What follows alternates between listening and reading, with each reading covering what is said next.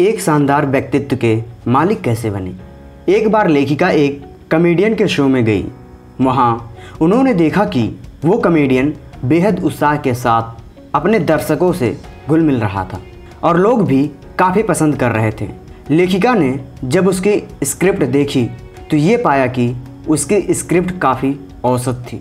यहीं से लेखिका को समझ आया कि इस बात का कोई फ़र्क नहीं पड़ता कि आप क्या कहते हैं, बल्कि फ़र्क इस बात से पड़ता है कि आप अपनी बात हमारे दिमाग में अक्सर ये सवाल आता है कि जब भी हम किसी से मिलें तो उससे ऐसी क्या बात करें कि वो हमसे मिलकर खुश हो जाए?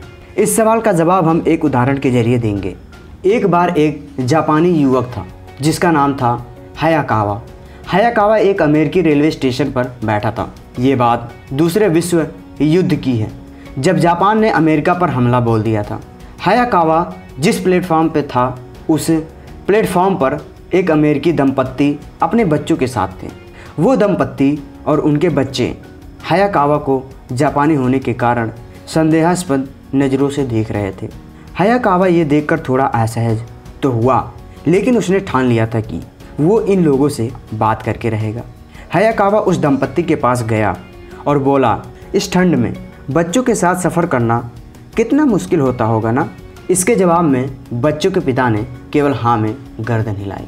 हयाकावा ने उनसे आगे पूछा कि आपके बच्चे उम्र के हिसाब से थोड़े बड़े और मज़बूत नज़र आ रहे हैं। ये सुनकर वो व्यक्ति थोड़ा मुस्कुराने लगा। हयाकावा ने थोड़ी देर और इस प्रकार की बातें जारी रखी। थोड़ी देर बाद जब माहौल थोड़ा सामान्य हुआ, तब उस अमेरिकी व्यक्ति ने हयाकावा से पूछा कि तुम्हें क्या लगता है? क्या जापानी सेना अमेरिका को युद्ध में हरा देगी।